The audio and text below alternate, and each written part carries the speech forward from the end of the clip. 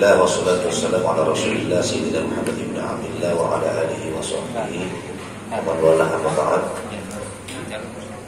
Para hadirin semuanya Alhamdulillah Malam ini kita bisa berkumpul kembali. Alhamdulillah bisa Lanjutkan pengajian. Mudah-mudahan kita nambah ilmu. Nambah ilmu itu mudah-mudahan nambah iman Nambah ketakwaan Kehusuan nambah dekat kepada Allah Subhanahu wa taala. Nambah derajatnya insyaallah. Dalam Al-Qur'an itu ada dua yang mulia. Yarfa'illahu alladziina aamanu minkum walladziina utul ilma. Allah mengangkat dua kelompok. Yang pertama alladzina amanu minkum. Orang-orang yang beriman. Minkum di antara kalian walladzina utul ilma dan orang-orang yang dikasih ilmu oleh Allah Subhanahu wa taala. Darajat itu jama muannas salim yang artinya derajat yang sangat tinggi.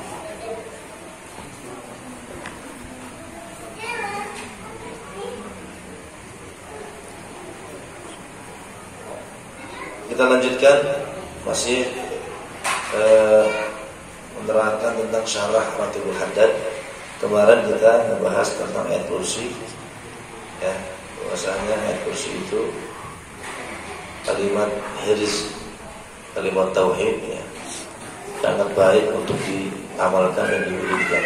Wabil khusus setiap pada sholat, setiap masuk rumah dan juga mau tidur. Kalau dibaca setiap sholat, insya Allah besok kita menghadap kepada Allah tidak ada yang menghalang-halanginya, tidak ada yang menghalanginya alias kita selamat lancar untuk masuk surga. Tidak ada makhluk atau siapa pun yang berani menghalang-halangi menghalang-halangi kita. Kalau dibaca setiap masuk rumah, insya Allah rumahnya berkah, rumah tangganya berkah, rumah tangganya keluarganya harmonis, tenteram adem, rezekinya melimpah-limpah. Coba aja ya, kita kan masuk rumah nggak mengucapin salam, nggak baca ayat kursi masuk masuk aja. Jadi mulai sekarang kita masuk rumah sebelum masuk rumah baca ayat kursi. Keluar masuk rumah baca lagi. Keluar sebentar masuk rumah baca lagi. Terus insya Allah ya. Allah kasih keberkahan buat keluarga kita semuanya. Kalau dibaca sebelum tidur insya Allah tidurnya fi salamatillah fi amalillah dalam lindungan Allah Subhanahu wa taala Kemudian malam ini kita lanjutkan tafsir atau syarahan tentang surat akhir Al-Baqarah. Bahwasanya Rasulullah diberi ya oleh Allah ayat daripada perbendaharaan arasnya Allah Subhanahu wa taala yaitu dua ayat penutup surat Al-Baqarah. Ini sangat baik sekali ya untuk kita baca sama juga untuk menjaga melindungi kita semuanya. Rasulullah menganjurin untuk kita ajarkan kepada anak-anak kita dan istri kita. Di dalam ayat tersebut terkandung arti erat hubungan seseorang dengan Tuhannya. Mengandung ganjaran dan doa. Di situ ada doanya dan juga ada ganjarannya. La yukallifullahu nafsan illa wus'aha laha ma kasabat wa 'alaiha ma kasabat. Rabbana la tu'akhidna in nasina aw akhtana. Rabbana wa la tahmil 'alaina isran kama hamaltahu 'ala alladziina min qablina. Rabbana wa la tuhammilna ma la taqata lana bih.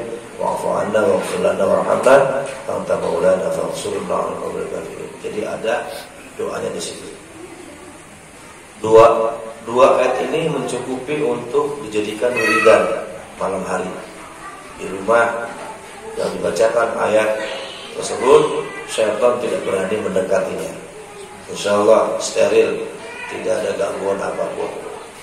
Insya Allah selamat dari sihir, selamat dari para bahaya. Insya Allah selamat daripada musibah, selamat daripada kebakaran. Insya Allah selamat daripada longsor gempa insya Allah ya. Jadi kalau mau tidur baca basmalah 21 kali, Fatihah, awal Baqarah, ayat kursi akhir Baqarah. Itu setiap mau tidur.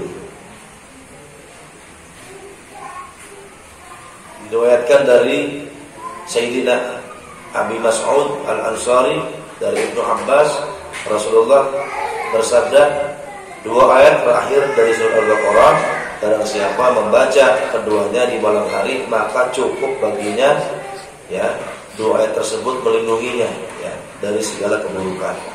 Hadis Bukhari Muslim. Diriwayatkan dari Abdullah bin Abbas ketika Jibril sedang bersama Rasulullah ia mendengar pintu yang berbunyi di atas kepalanya. Kemudian ia mengangkat kepala lalu berkata, "Ini adalah suara sebuah pintu di surga." Yang tidak pernah dibuka. Kemudian satu malaikat turun dan Jibril kembali berkata, ia adalah malaikat yang tidak pernah turun ke bumi. Kemudian malaikat tersebut memberi salam. Seraya berkata, bersyukurlah atas dua cahaya yang diberikan kepadamu yang belum pernah diberikan kepada Rasul sebelumnya, yaitu surat Al-Fatihah dan dua ayat terakhir dari surat Al-Baqarah engkau akan mendapatkan manfaat yang sangat besar setiap kali engkau membacanya. Awal Baqarah, ayat kursi ayat Baqarah. Ini kita rutin insya Allah. Setiap rutin hadat, setiap ngeriung, ya. Makanya kalau acara ngeriung, meruat, acara tahlil, doa selalu dibaca ya. ya awal Baqarah, ayat kursi ayat Baqarah. Maka itu ini jadi wiridan ya, jadikan wiridan khususan kalau malam mau tidur habis sholat. Insya Allah ya banyak manfaatnya. Setiap ayat Quran itu mengandung hikmah mengandung faedah yang sangat besar. Bahkan Habib Umar pernah eh, cerita pernah ngasih ngasih apa itu nasihat kepada kita rahasia Al-Quran itu Satu ayat itu Kalau Allah bukakan rahasianya Kalau dicatat, ditulis dalam buku Itu Buku itu Tidak bisa keangkut oleh 100 ekor unta. Saking luasnya Apa itu rahasia Daripada Al-Quran? Itu satu ayat. Jadi yang kita baca ini baru 0,00 persen dari rahasia Allah Subhanahu Wa Taala.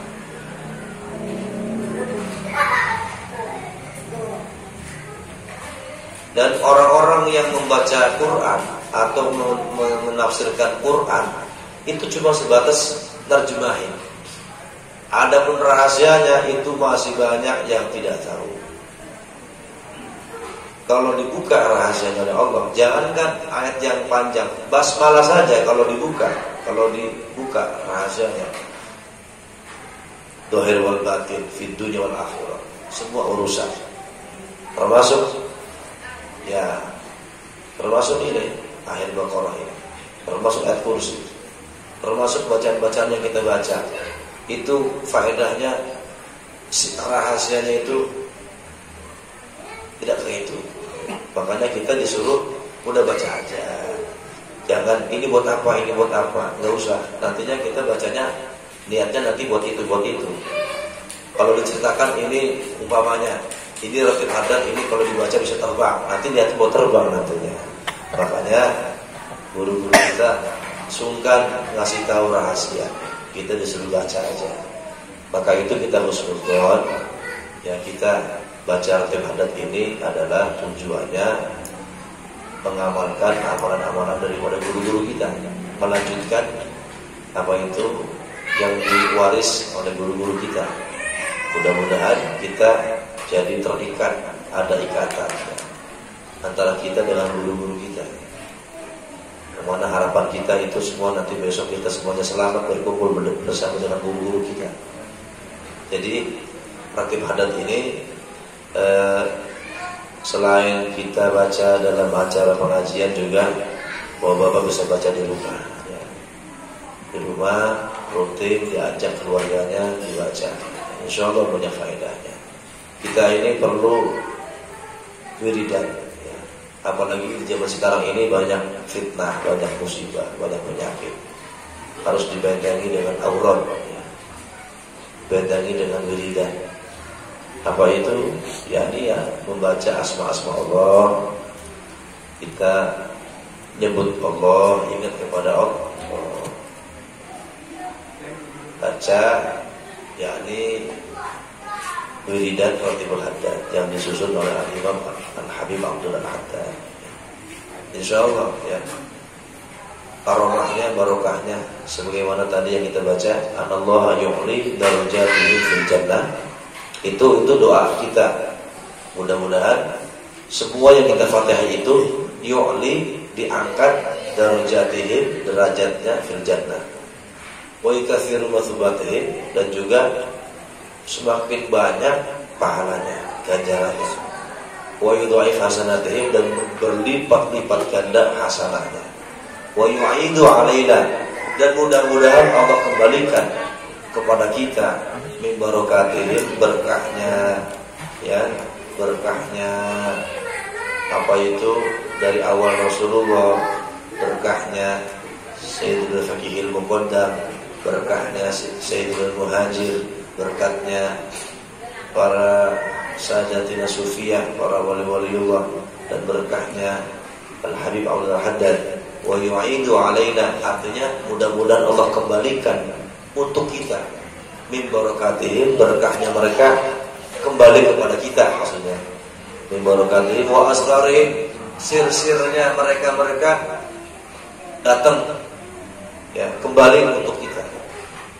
Wa yu'idu alaina min barakatihim wa asrarihim wa anwarihim nurnya mereka.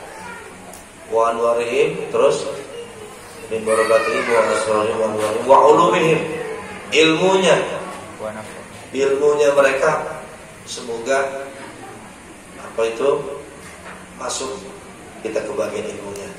Wa ulumihim wa nafahatihim nafahahnya berkah sehari-harinya. Luar biasa ya.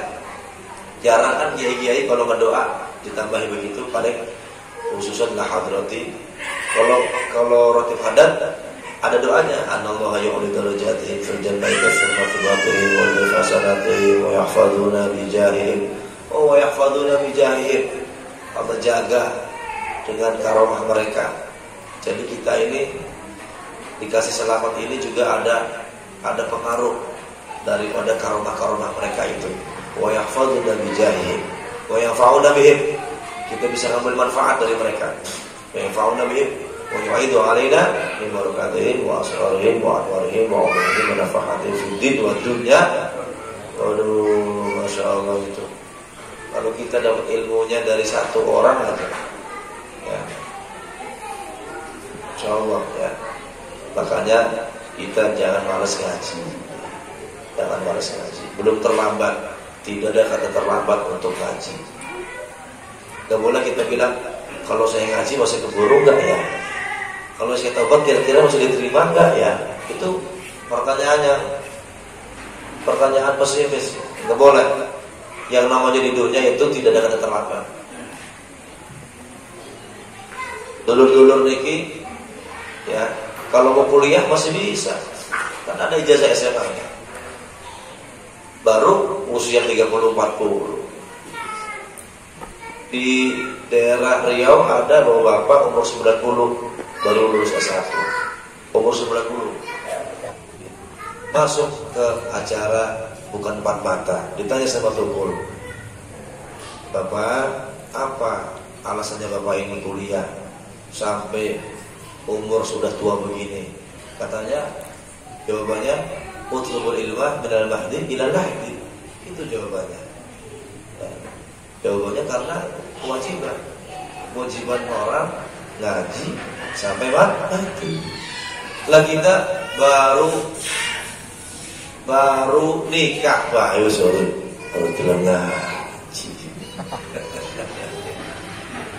Tapi kan anak siji sorry bilang ngaji. Baru keterima masuk di posko aja udah izin. Aduh pun tetap saya punya ngaji dulu kayaknya udah keterima di posko baru dapat pekerjaan di posko udah nggak udah nggak ngaji Baru dapat borongan urukan rongan red bayu suruh ngaji. Masih enom suruh belum ngaji. Kamu tuan kita ngaji bagi muda itu perlu sangat luar biasa. Wong tua ngaji ku bagus, tapi lamun enom ngaji luwih bagus. Orang-orang tua tobat itu bagus, tapi lamun tobat dari masa muda lebih bagus.